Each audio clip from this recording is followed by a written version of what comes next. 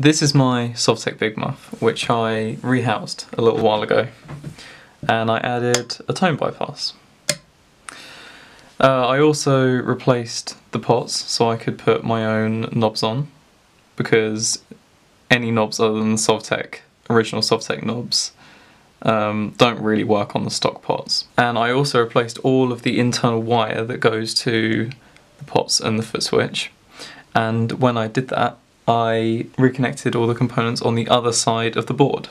So I completely flipped the circuit board upside down in the housing because originally the input and output of the pedal were on the wrong side. The output was here and the input was here, which is not like every other pedal on mine and probably your pedal board.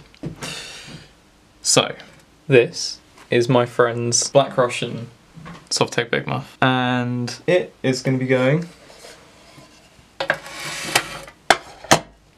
in this. And while we're at it, we're to, like on my Big Muff, replace all the pots, add a true bypass foot switch, add a tone bypass, and a mids control. And we're also to swap the LED. The main reason I wanted to make this video is because there's surprisingly little information on how to true bypass one of these things, and it's well worth doing because the bypass sucks. So that's what we're going to be doing. Welcome.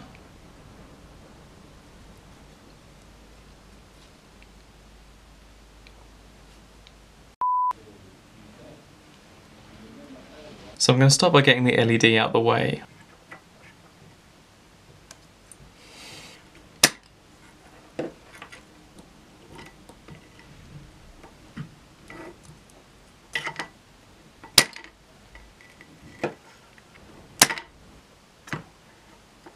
Alright, that's the volume pot done. So when I did my Big Muff, I mapped out where all the pots go in relation to the, terminals on the board. So all I'm doing is before I disconnect each wire, I'm just making sure that it matches what I have on paper over there. So I know exactly uh, where to put the replacement ones. Okay, I'm to do the tone control next.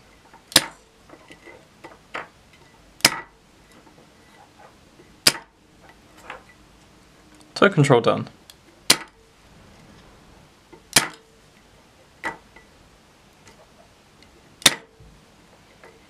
So now I've made a note of where these foot switch wires go to and now I'm going to pull them and then once I've got all the main components of the board I am going to swap in these components which are necessary to make the mid control work properly.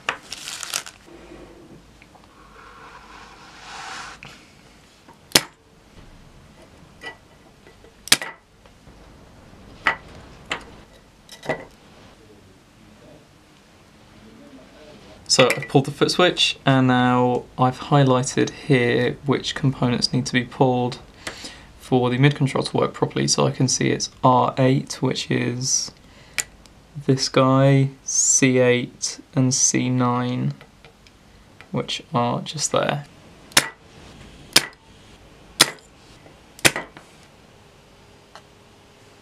Well, that was a pain, but we got there. One down.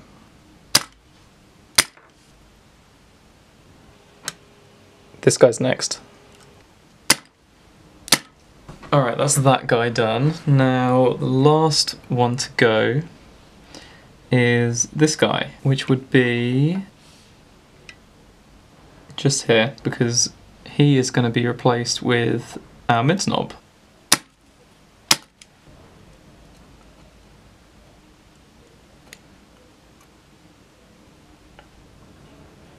knob. Alright, so now I've pulled those guys. We're gonna swap in these guys. Alright, so that's C8 replaced. I'm gonna get them both on the board and then flip it and solder them in. Just bending the legs on the other side of the board so that when I flip it they don't just fall straight out. That one's not going anywhere. Alright, neither's that one.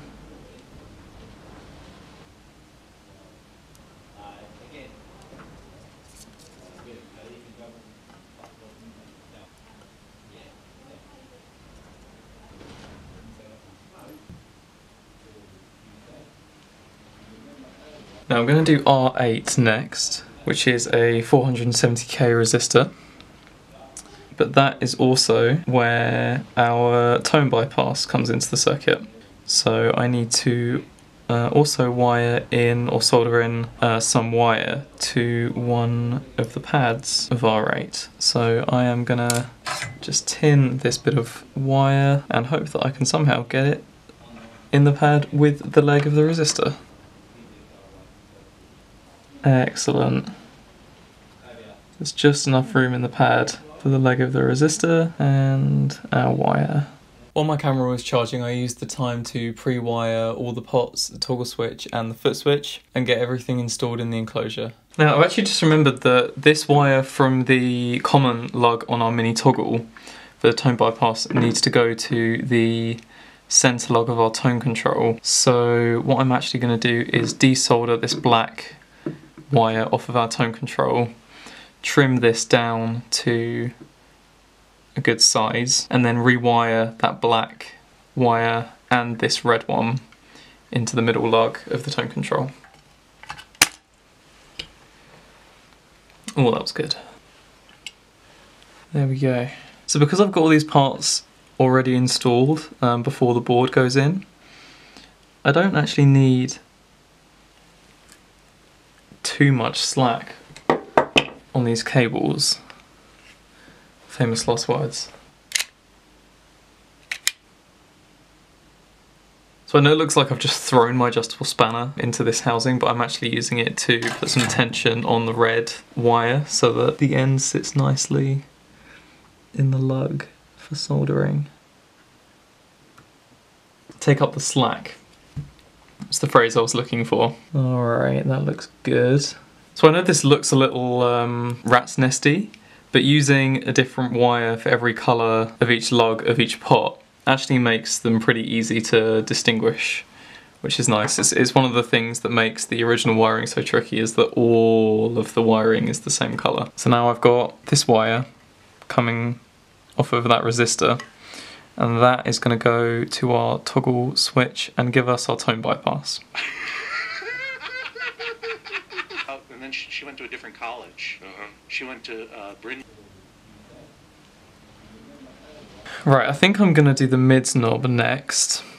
Now, whoop. Alright, I think I'm going to do the mids knob next. So this is the mids knob. To do this, all you need to do is wire a resistor or solder a resistor to this lug of your pot and then jump the other two and run a wire from either of those two jumped lugs. Our white wire, which has the resistor on the other end, is going to go to the pad nearest the top of the board and our red wire, which goes to the other two lugs, is going to go here. Turn from hopefulness to die someday, so I got to have a story that's going to make this hard to just really go through divorces, go through that. You got to be happy. Right? I know that you.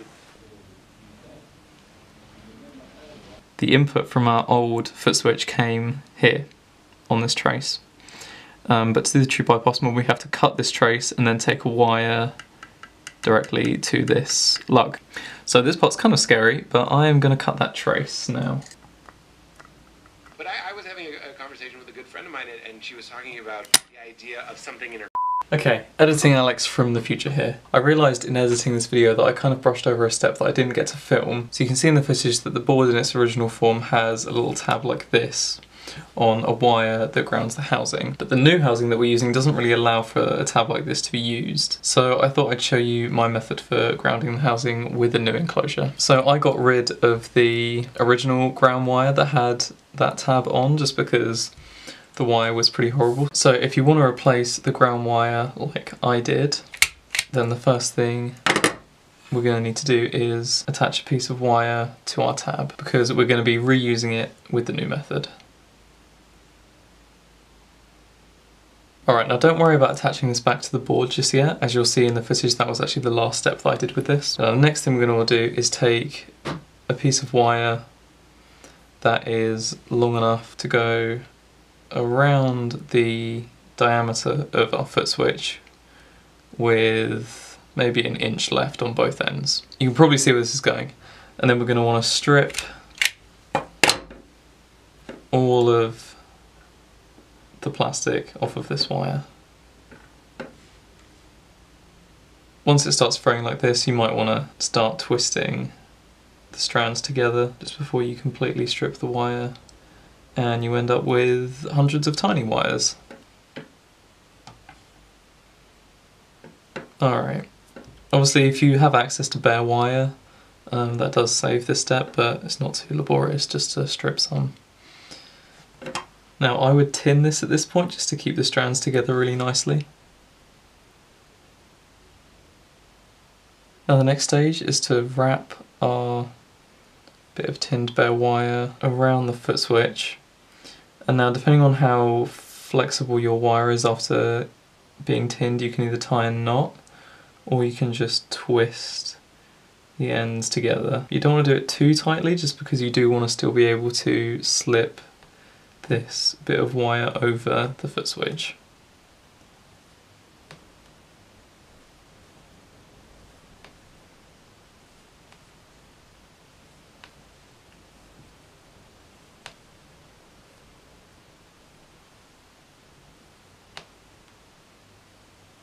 Oh my god.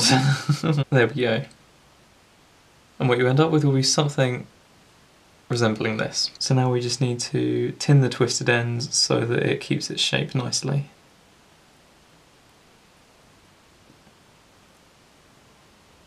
Alright, I'll just give myself a bit of a neater end. I'm going to cut off the two loose ends just there. And I'm going to double check. Yeah, that still goes over my foot switch nicely. So now we want to grab this part again and this tab makes it really nice and easy to just twist the end of our little soldered noose around the tab. Now we just want to solder that in place. Okay, so if you wanted to give yourself a bit more flexibility you could use a longer piece of bare wire but this would work nicely. So all you are going to want to do is just slide this back over your foot switch before you install it. And then when you install your foot switch, the bare wire will get uh, pressed really nicely into the bottom of the housing and you will have a ground connection. So this part's fairly straightforward. You just need to jump this bottom corner lug to the top center and this bottom center to this top corner. Alright, so I've got my foot switch installed. So the first thing I'm going to do is attach this ground wire. It needs to go to here as does this, which grounds the housing. So I'm actually going to twist these two ends together and then feed them through that pad and solder them in.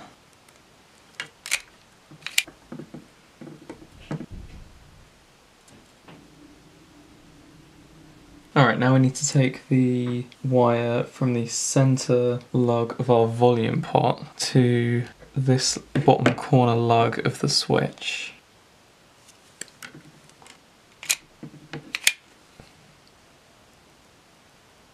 Alright, now this is the negative side of our LED, and that is going to go to this centre left lug on the foot switch.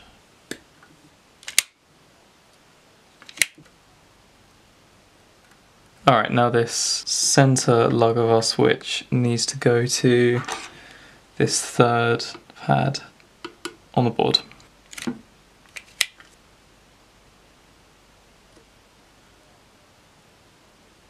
Alright, now this wire on the middle right side of the switch needs to go to this pad 10 next to the ground.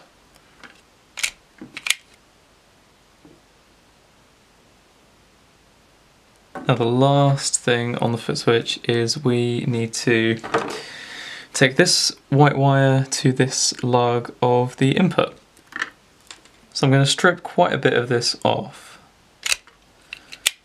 and I'm going to wrap it around that lug as much as I can.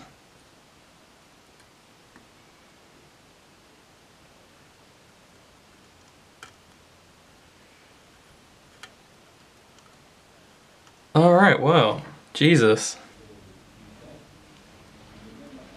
So my friend hasn't chosen knobs for this yet, so I'm going to just stick four random ones on that I've got lying around to test the pedal.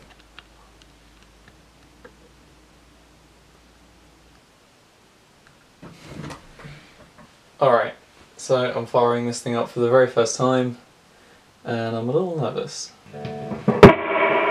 Alright, getting signal through.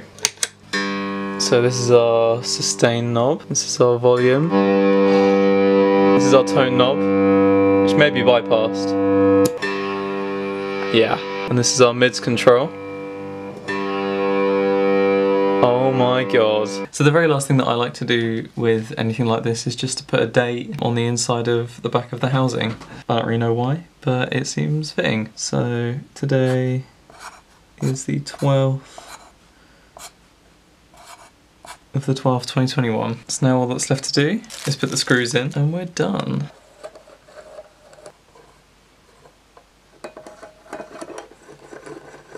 You can do better than that autofocus.